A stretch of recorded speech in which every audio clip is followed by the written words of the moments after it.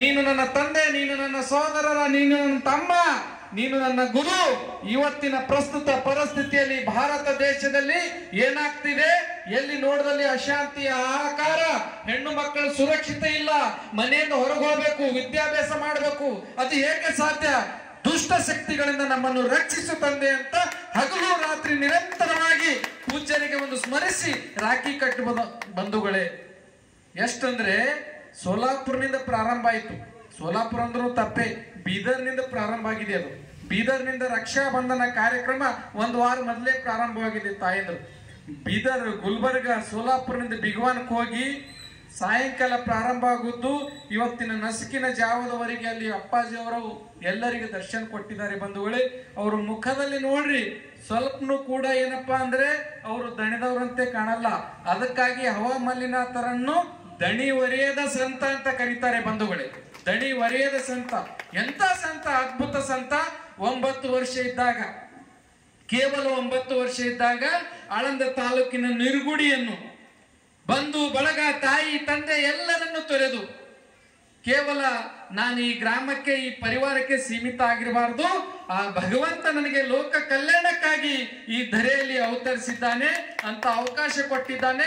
ಅದಕ್ಕಾಗಿ ಸಮಸ್ತ ಲೋಕ ಕಲ್ಯಾಣ, ಸರ್ವೇ ಜನೋ ಸುಖಿನೋ ಭವಂತು ಎಂಬ ತತ್ವ ಬಾಲ್ಯದಿಂದಲೇ ಅಳವಡಿಸ್ಕೊಂಡು ಕಾಲಿಗೆ ಚಕ್ರ ಕಟ್ಕೊಂಡಂಗೆ ಬಂಧುಗಳೇ ಸಾದಾ ಮಾತಲ್ಲ. ಎಲ್ಲಿರ್ತಾರೆ ಹವಾಮಲ್ಲಿ ಇವತ್ತಿಲ್ಲಿ ನಾಳೆಗಿಲ್ಲಿ ಮಧ್ಯಾಹ್ನ ಇಲ್ಲಿ ಸಂಜೆಗಲ್ಲಿ. ಒಮ್ಮೆ ನೋಡಿದ್ರೆ ಎರಡು ಕಡೆ. ಜಮ್ಮು ಕಾಶ್ಮೀರದಿಂದ ಕನ್ಯಾಕುಮಾರಿವರೆಗೆ ನಿರಂತರವಾಗಿ ಹಗಲು ರಾತ್ರಿ ಎನ್ನದೆ ಮಿಂಚಿನ ವೇಗದಲ್ಲಿ ಸಂಚರಿಸಿ ಹವಾಮಾನಿನ ತಪ್ಪಾಜಿ ಆಗಿದ್ದಾರೆ ಬಂಧುಗಳೇ. ಐದಾರು ಸಾವಿರ ಮಠ ಮಂದಿರಗಳನ್ನು ಸ್ಥಾಪನೆ ಮಾಡಿದ್ದಾರೆ. ತ್ರೇತಾಯುಗದಲ್ಲಿ ಶ್ರೀರಾಮಚಂದ್ರ ಈವನ್ ನಮ್ಮ ಕಲಬುರಗಿ ಹಿಡ್ಕೊಂಡು ರಾಮತೀರ್ಥದಲ್ಲಿ ಹೆಂಗ್ ಲಿಂಗ ಸ್ಥಾಪನೆ ಮಾಡಿದ್ದಾರೋ ಅವು ಎಣಿಕೆಗೆ ಬರುವಷ್ಟು ಲಿಂಗಗಳಿದ್ದಾವೆ ಬಂಧುಗಳೇ. ಮುಂದೆ ಸೋಲಾಪುರ ಸಿದ್ದರಾಮೇಶ್ವರ ಅವರು ಲಿಂಗ ಸ್ಥಾಪನೆ ಮಾಡುದು ಕೂಡ ಎಣಿಕೆಗೆ ಬರುವಷ್ಟಿದ್ದಾವೆ. ಆದರೆ ಕಲಿಯುಗದ ಈಗ ನಾವು ನೀವು ಕಾಣ್ತಾ ಇರುವ, ನಡೆದಾಡುವ ದೇವರು ಅನ್ನದಾಸೋಹಿ ಹವಾಮಲಿನಾಥರು ಸಾವಿರಾರು ಲಿಂಗ ಸ್ಥಾಪನೆ ಮಾಡಿ, ಏನೂ ಮಾಡಿದ್ದು ಕೂಡ ಮಾಡಿಲ್ಲ ಅನ್ನೋ ರೀತಿಯಲ್ಲಿ ಸರಳವಾಗಿ ಕೂತಂತ ಅತಿ ಸರಳ ಸಮಾನತೆಯ ಸಂತ. ಜಾತಿ ಇಲ್ಲ, ಧರ್ಮ ಭೇದ ಭಾವ ಇಲ್ಲ, ಲಿಂಗ ತಾರತಮ್ಯ ಇಲ್ಲ, ಬಡವ, ಶ್ರೀಮಂತ ಇಲ್ಲ, ಏನೂ ಇಲ್ಲ. ಇವರನ್ನು ಶೂನ್ಯ ಪೀಠಾಧಿಪತಿಗಳಂತ ಕರೀತಾರೆ ಬಂಧುಗಳೇ. ಆ ಪರಂಪರೆ, ಈ ಪರಂಪರೆ ಅವು ಏನೂ ಇಲ್ಲ. ಮಾನವ ಜನ್ಮ ಶ್ರೇಷ್ಠ ಆಗಿದೆ. ಮಾನವ ಜನ್ಮ ಶ್ರೇಷ್ಠ ಆಗಿದೆ.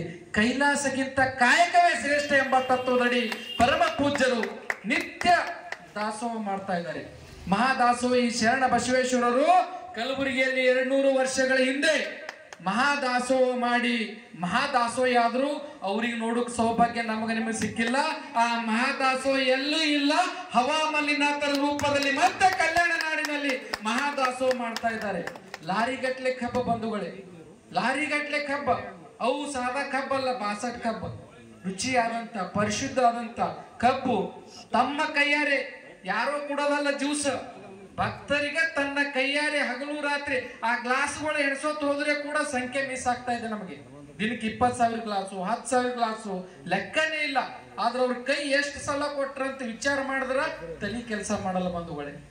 ಬೆಳಿಗ್ಗೆಯಿಂದ ಸಾಯಂಕಾಲದವರೆಗೆ ಎಷ್ಟು ಭಕ್ತರು ಬರ್ತಾರ ಅಷ್ಟು ಖುಷಿ.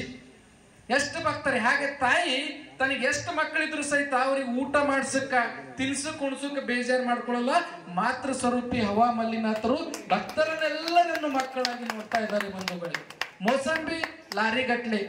ಒಂದು ಕೈಲಿಲ್ಲ ಎರಡು ಕೈಲಿ ಕೊಡೋದು ಇದು ಏನಂತಿಲ್ಲ, ಕೊಡಗೈ ದಾನಿ. ಒಂದು ದಾನದ ಬಗ್ಗೆ ಹೇಳ್ತೀನಿ. ಮಹಾಭಾರತದಲ್ಲಿ ದಾನದಾಗಿ ಯಾರು ಶ್ರೇಷ್ಠರಂತ ಒಂದು ಪಂದ್ಯ ನಡೀತ. ಯಾರು? ಕರ್ಣ ಮತ್ತು ಅರ್ಜುನನ ಮಧ್ಯೆ ಶ್ರೀಕೃಷ್ಣ ನಡೆಸ್ತಾನೆ. ಅವಾಗ ಒಂದು ಲಾರಿ ಗಟ್ಲೆ ಬಂಗಾರ, ಬೆಳ್ಳಿ, ವಜ್ರ ಕರ್ಣ ಕೊಡ್ತಾನೆ ಶ್ರೀಕೃಷ್ಣ. ಒಂದು ಲಾರಿ ಗಟ್ಲೆ ಅರ್ಜುನ ಕೊಡ್ತಾನೆ. ಯಾರು ಎಷ್ಟು ಜಲ್ದಿ ಹಸ್ತೀರಿ ನೋಡ್ರಿ ಅಂತ ಹೇಳ್ತಾನೆ. ಅದಕ್ಕೆ ಅರ್ಜುನ ಲಾರಿ ಗಟ್ಲೆ ಇದ್ದಂತ ಬಂಗಾರ, ಬೆಳ್ಳಿ ತನ್ನ ಕೈಯಾರೆ ಸಾಲಾಗಿ ನಿಂತವ್ರಿಗೆ ಗಂಟೆ ಗಂಟ್ಲೆ ಹಂಚಿ ಖಾಲಿ ಮಾಡ್ತಾನೆ. ನಾನು ಎಂಟು ಗಂಟೆಯಲ್ಲಿ ಎಲ್ಲ ಮುಗಿಸ್ದೆ ಅಂತ.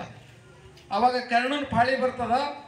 ಕರ್ಣ ಅಂತಾನೆ, ಇದು ಹಂಚುಕ್ಕೆ ಲೆಕ್ಕಾರ ಯಾಕೆ ಹಾಕಬೇಕು? ಆ ಲಾರಿ ಗಟ್ಲೆ ಇದ್ದಕ್ಕೆ ಎರಡು ರೇಗೆ ಹಾಕ್ತಾನ. ಈ ಲೈನ್ ಇದ್ದವ್ರು ಇದು ತೋರಿ, ಈ ಲೈನ್ ಇದ್ದವ್ರು ಇದು ತೋರಿ ಅಂತ. ಅದಕ್ಕೆ ಕರ್ಣ ದಾನದಾಗ ಶ್ರೇಷ್ಠ ಜ್ಞಾನಿ ಕರ್ಣ ಅಂತ ಹೇಳ್ತಿದ್ರು. ಆದ್ರೆ ಕಲಿಯುಗದಾಗ ಹವ ಮಲ್ಲಿನಾಥರು ಇದನ್ನು ಲೆಕ್ಕ ಹಾಕಲ್ಲ, ಅದನ್ನು ಲೆಕ್ಕ ಹಾಕಲ್ಲ, ಅವ್ರಿಗೆ ಅದು ಹಂಚದ್ರ ಬಗ್ಗೆ ಅರಿವೇ ಇಲ್ಲ. ಹಂಚದೆ ಹಂಚದು ಹಂಚದೆ ಹಂಚದು, ನಿರಂತರ ನಿತ್ಯ ಕಾಯಕವೇ ಸತ್ಯ ಕಾಯಕ, ಮಹಾದಾಸೋಹಿ ನಡೆದಾಡುವ ಅನ್ನ ಎಲ್ಲಾದ್ರಿದ್ರೆ ಅದು ಹವಾ ಮಲ್ಲಿನಾಥ್ ಮಹಾರಾಜ ಅಪ್ಪಾಜಿ ಅವರ ಬಂಧುಗಳು ಇಂಥ ಅದ್ಭುತ ಮಹಾನ್ ಶಕ್ತಿ, ದಿವ್ಯ ಜ್ಯೋತಿ ಈ ಕಲ್ಯಾಣ ನಾಡಿನಲ್ಲಿ ಬೆಳಗ್ತಾ ಇದೆ ಬಂಧುಗಳೇ. ನೀರುಗುಡಿಯಲ್ಲಿ ಜನಿಸಿದ ಜ್ಯೋತಿ ಇವತ್ತು ಜಗವ ಬೆಳಗ್ತಾ ಇದೆ ಬಂಧುಗಳೇ. ಜಗವ ಬೆಳಗಿತ ನೀರುಗುಡಿ ಜ್ಯೋತಿ, ಅದುವೇ ಹವಾ ಮಲ್ಲಿನಾಥ ಬಂಧುಗಳೇ. ಅಂತ ಹವಾ ಮಲ್ಲಿನಾಥರು ಇವತ್ತು ಸಾವಿರಾರು ಮಠ ಮಂದಿರಗಳನ್ನೆಲ್ಲವನ್ನು ತೊರೆದು ತೊರೆದು ಅಂದ್ರೆ ದೂರ ಮಾಡಿಲ್ಲ. ಆದ್ರೆ ಅದಕ್ಕಿಂತ ಒಂದು ಹೆಜ್ಜೆ ಮುಂದೆ ಹೋಗ್ತಾ ಹೋಗಿದ್ದಾರೆ. ಏನಪ್ಪಾ ಅಂದ್ರೆ ಪ್ರಸ್ತುತ ಭಾರತ ದೇಶದಲ್ಲಿ ಮಠ, ಮಂದಿರ, ದರ್ಗಾ, ಚರ್ಚ್ ಸಾಕಷ್ಟು ಸಂತರು, ಸತ್ಪುರುಷರು ಕಟ್ತಾ ಇದ್ದಾರೆ.